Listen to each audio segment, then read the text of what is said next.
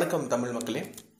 நான் ரீசெண்டாக பார்த்தீங்கன்னா மீன் வாங்கலாம்னு சொல்லிட்டு கடைக்கு போயிட்டு பார்க்கும்போது அங்கே சேல்ஸுக்கு இந்த பாஷா ஃபிஷ் அப்படின்றத உங்களுக்கு டிஸ்பிளேயில் வச்சுருந்தாங்க. ஸோ எனக்கு இந்த நல்லது கிடையாது நல்ல இந்த மீன் நல்லது கிடையாதுன்னு எனக்கு நல்லாவே தெரியும். ஸோ அதை ஃபோட்டோ எடுத்துகிட்டு போயிட்டு நம்ம கடையோட ஓனர்கிட்ட நான் ட்விட்டரில் ட்வீட் பண்ணி கேட்குறேன் ஸோ இந்த மீன் வந்து நிறைய கண்ட்ரீஸில் பேன் பண்ணிட்டாங்க. ஸோ நீங்கள் ஏன் இந்தியாவில் சேல் பண்ணிகிட்ருக்கீங்க அப்படின்னு கேட்கும்போது அவர் ரிப்ளை பண்ணுறாரு இல்லை இல்லை இது ஒன்றும் இம்போர்ட் பண்ண ஃபிஷ் கிடையாது. நம்ம ஆந்திராவிலேருந்து நாங்கள் கல்டிவேட் பண்ணி கொண்டு வரோம். ஸோ இது ஒன்றும் கெடுதல் கிடையாது. அப்படின்னு சொல்லிட்டு அவர் சொல்கிறாரு பட் இந்த பாஷா ஃபிஷ்ஷில் நிறையா கெடுதல்கள் இருக்குது அதை என்னன்னு வெளியில் கொண்டு வரதுக்காக தான் இந்த வீடியோ ஸோ மார்க்கெட் வரைக்கும் வந்துருச்சு சேல்ஸ்க்கு நம்ம என்னன்னு தெரிஞ்சுக்கணும் இல்லையா? ஸோ இந்த மீன் பார்த்தீங்கன்னா என்ன பாஷா ஃபிஷ்னா என்ன ஃபஸ்ட்டு பேசிக்காக இது வந்து ஒரு கேட் ஃபிஷ்ஷோட வெரைட்டி கேட் ஃபிஷ்னு ஒரு மீன் இருக்குது அதோடைய ஒரு வெரைட்டி ஆஃப் ஃபிஷ் தான் இந்த பாஷா ஃபிஷ்ஷு மீகாங் ரிவர் அப்படின்னு சொல்லிட்டு ஒரு ரிவர் இருக்குது அது பார்த்தீங்கன்னா டிபெட்லேருந்து China Cambodia Laos Myanmar Thailand and Vietnam வரைக்கும் இந்த இந்த ரிவர் வந்து போயிட்டுருக்கு சரிங்களா?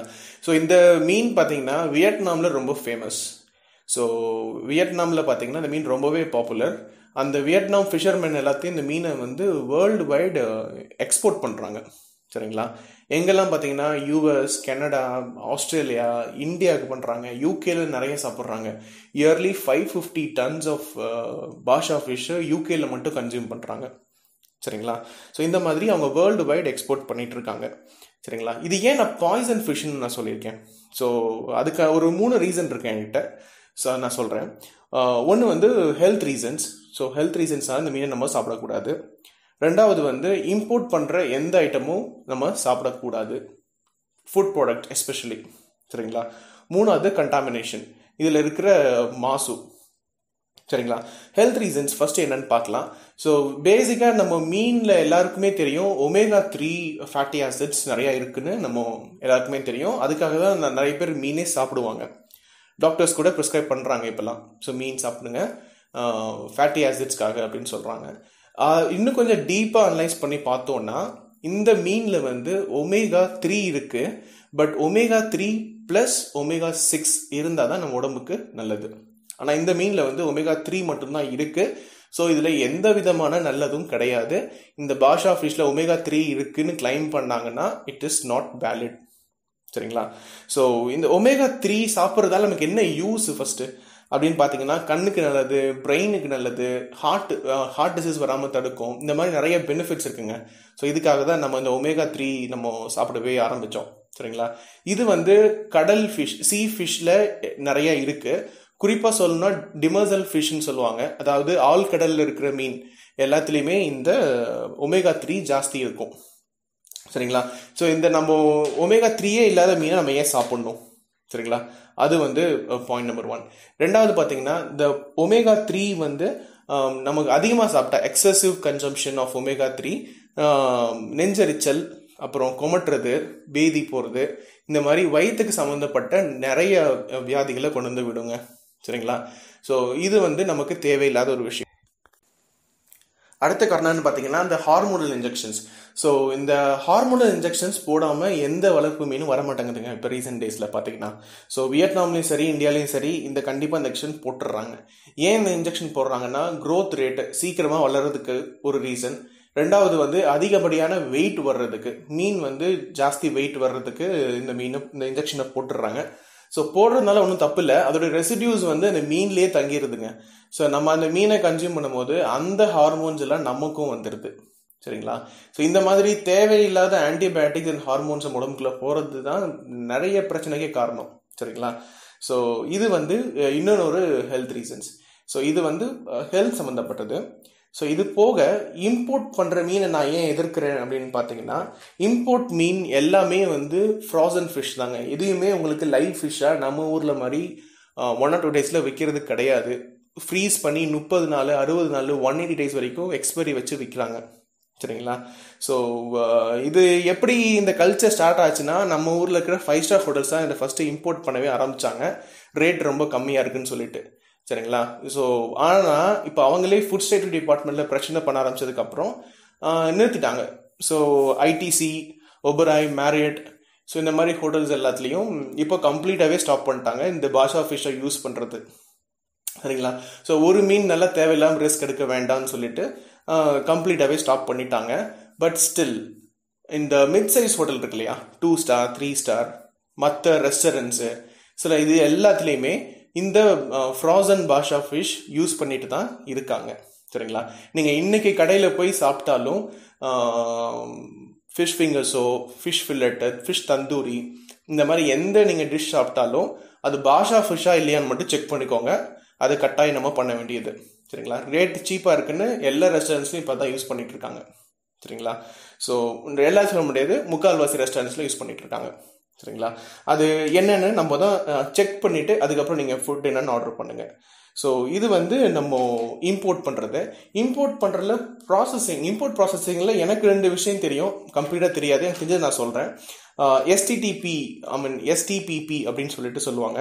அதாவது சோடியம் ட்ரை பாலி பாஸ்பேட் அப்படின்னு சொல்லிட்டு ஒரு ஒரு பவுடர் இருக்குது ஒரு நம்ம கல்லுப்பு மாதிரி இருக்கும். சரிங்களா?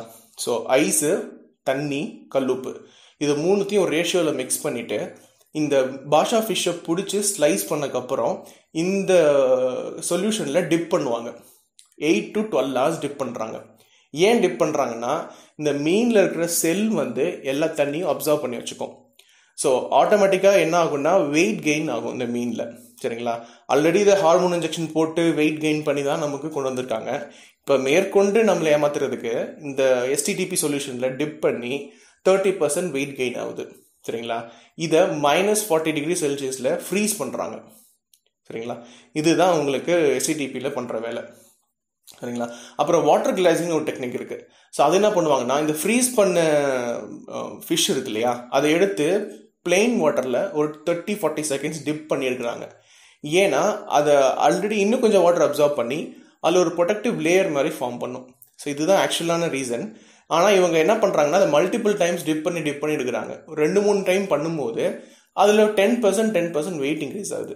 ஸோ ரெண்டு டைம் மூணு டைம் கண்டிப்பாக பண்ணிடுறாங்க. So twenty thirty percent weight இன்னும் கொஞ்சம் ஆட் ஆகிடுது ஸோ ஓவராலாக பார்த்தீங்கன்னா ஒரு நியர்லி ஒரு ஃபிஃப்டி பர்சன்டேஜ் வெயிட் கெயின் பண்ணுறாங்க இந்த ப்ராசஸிங்கில் மட்டும். ஸோ ஒரு கேஜி மீனை அவங்க ஒன்றரை கிலோ மீனாக மாற்றுறாங்க ஸோ அதை தான் இங்கே நம்ம ஊருக்கு அமுச்சு வைக்கிறாங்க இம்போர்ட்டுன்னு சொல்லிட்டு. சரிங்களா? நம்ம ஊர் ஹோட்டல்ஸ் சரி இல்லை ஹோல்சேல் டீலர்ஸ் இந்த மாதிரி டீலர்ஸ் இருந்தாலும் சரி அதை தான் இம்போர்ட் பண்ணுறாங்க சரிங்களா? ஸோ அதை நம்ம தான் நம்ம ஏமாந்து போய் வாங்கி நம்ம சாப்பிட்டுருக்கோம் சரிங்களா?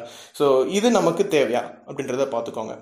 மூணாவது விஷயம் வந்து கண்டாமினேஷன் ஸோ இதில் வந்து நிறைய கண்டாமினேஷன்ஸ் இருக்குது எனக்கு தெரிஞ்ச கண்டாமினேஷன்ஸ் நான் படித்த வரைக்கும் பார்த்தீங்கன்னா ஆன்டிபயோட்டிக் இல்லீகல் ஆன்டிபயோட்டிக்ஸ் இல்லை மிக்ஸ் பண்ணுறாங்க மெர்க்குரி கண்டாமினேஷன்ஸ் இருக்குது ஃபங்கிசைட்ஸ் இந்த மாதிரி நிறைய விஷயங்கள் இருக்குது so US food and drug department என்ன பண்ணியிருக்காங்கன்னா இதை வந்து illegal antibiotics and mercury contaminations இருக்குன்னு சொல்லிட்டு இதை கம்ப்ளீட்டாகவே பேன் பண்ணிடுறாங்க. கேட்ஃபிஷ் வார்னு சொல்லிட்டு ஒரு பெரிய இஷ்யூவே நடந்துச்சு யூஎஸில் சரிங்களா? அப்புறம் கனடாவில் பார்த்தீங்கன்னா Canada association of consumers sorry consumer association of Canada அப்படின்னு சொல்லிட்டு ஒரு அசோசியேஷனில் ஃபங்கி சைட்ஸ் இருக்குன்னு கண்டுபிடிச்சு நிறைய கன்சைன்மெண்ட்ஸை திரும்பி அனுப்பிச்சிட்டாங்க. திரும்பி அமைச்சிட்டு கன்சர்ன் ரைஸ் பண்ணுறாங்க இதை நம்ம பேன் பண்ணலாம் அப்படின்னு சொல்லிட்டு பின்னாடி அதை பேனும் பண்ணிடுறாங்க கனடாவில் ஸோ இந்த மாதிரி ஒவ்வொரு கண்ட்ரியாக பேன் பண்ணிகிட்டே வராங்க. ஸோ இப்போ நம்ம இந்தியாவில் என்ன பண்ணுறாங்கன்னா நம்ம எஃப்எஸ்எஸ்ஐ ஏஐ இருக்கு இல்லையா? ஸோ நம்ம ஃபுட் சேஃப்டி டிபார்ட்மெண்ட் இருக்கு இல்லையா? அவங்க plus customs and excise department இதை க்ளோஸாக ட்ராக் பண்ணிட்டு இருக்காங்க. எவ்ரி இம்போர்ட் எவ்ரி கன்சைன்மெண்ட்டை டெஸ்ட் சாம்பிள்ஸ் எடுத்து பார்த்துட்டு நல்லா இருந்தால் மட்டும்தான் அலோவ் பண்ணிட்டு இருக்காங்க. பட் ஸ்டில் இதில் நம்ம கண்டிப்பாக இதில் நம்ம எல்லாமே நல்லதாக தான் இருக்கும்னு நம்மளால சொல்ல முடியாது. ஏதாவது மிஸ் ஆகி வர்றதுக்கான வாய்ப்புகள் நிறைய இருக்குது ஸோ இவ்வளோ ரிஸ்க் எடுத்து இந்த மீனை நம்ம சாப்பிடணுமா? அப்படின்றத யோசிங்க. இன்னொரு கேள்வி என்னன்னா இந்த மீன் நூறுரூவாய்க்கு நூற்றம்பது ரூபாய்க்கும் கிலோ விற்கிது சரிங்களா? அது இந்தியாலேயே வச்சிருந்தாலும் அதோடைய குஞ்சுங்க வந்து இம்போர்ட் தான் பண்ணுறாங்க மறுபடியும். எடுத்துகிட்டு வந்து நம்ம ஊரில் வச்சு நம்ம ரிவர்லேயோ பாண்டுலேயோ அதை ஹார்மோன் இன்ஜெக்ஷன் போட்டு தான் வளர்க்குறாங்க. புரியுதுங்களா? ஸோ இந்த இப்படிப்பட்ட மீனை நூறு நூற்றம்பது ரூபாய்க்கு விற்றா அது எப்படிங்க ஒரு இம்போர்ட் ஆகி வர மீன் ஒரு ஒன் ஃபிஃப்டிலேருந்து டூ ஃபிஃப்டிக்குள்ளே விற்க முடியும்? அப்போ அதோட ஆக்சுவல் காஸ்ட் என்ன? சரிங்களா? ஸோ இதெல்லாம் நீங்கள் மீன் சாப்பிட்றதே நம்ம உடம்புக்கு நல்லதுக்காக தான். ஸோ ஒமேகா த்ரீ வேணும்னா நல்ல மீனாக கடல் மீனாக வாங்கி சாப்பிடுங்க.